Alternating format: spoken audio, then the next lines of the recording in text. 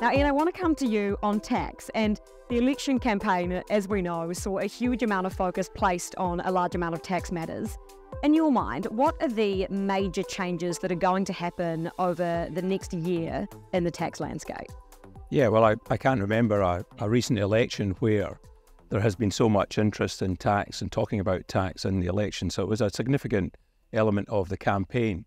Um, what we can expect is a mini budget in December, and I would expect most of the national tax policies that National campaigned on to be implemented then.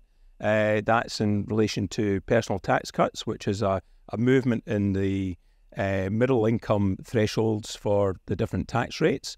Um, the uh, changes or the unwinding of some of the uh, Labour initiated uh, changes to property, residential properties, which I think will be a, a boon to mum and dad investors who've invested in uh, an extra residential property as part of their building funds for retirement.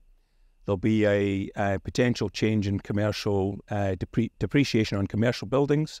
And then there's the unwinding of things like the EV rebate, the fuel taxes, and that sort of stuff. So they've, uh, they, there's there's a, there'll be a lot in that budget because a lot of those changes need to be in legislation by 1 April 2024 or 1 July 2024. And if they don't bring them in in legislation in December, they won't be passed in time. Oh, so it's a very short list then, by the sounds of it. Uh, well, I'm sure they've been working on the changes that need to be made uh, in the background. And uh, it'll be interesting to see if there's any modifications once that they've been in and had a good look at the books, or whether the coalition talks have changed any of that landscape as well. Specifically on that, do you think that the coalition talks could put any of those tax potential policies at risk?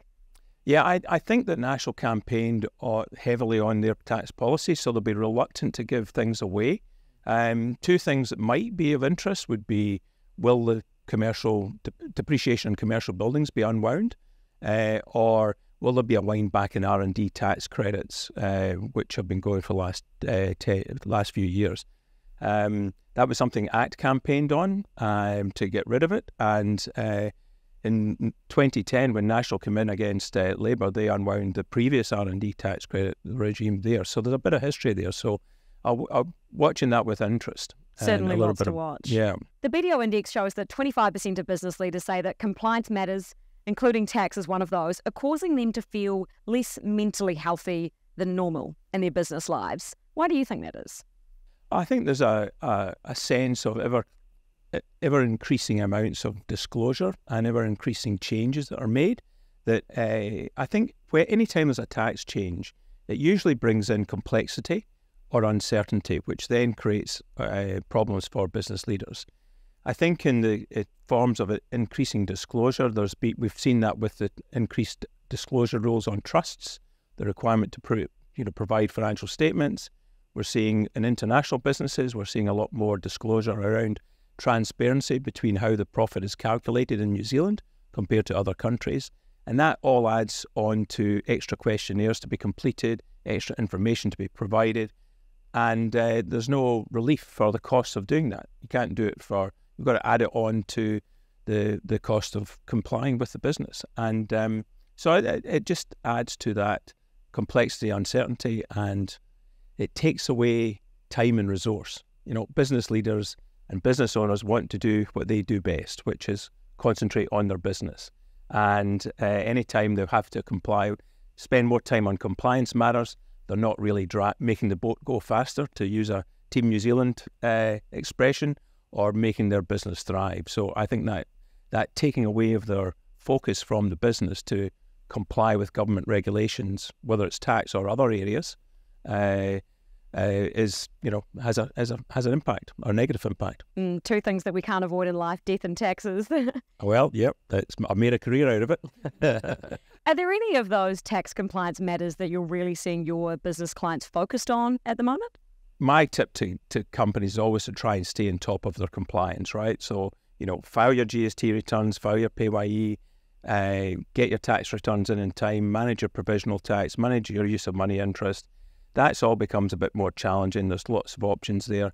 Um, where we see businesses getting into trouble is is on PAYE and GST, and that's a really no no because that's funds that are held in trust. It's like a fiduciary responsibility because you're collecting it on behalf of the government. And if they fall behind in that because cash flow, it's easier, they see it easier to drag out the inland revenue than go to the bank and get some more money.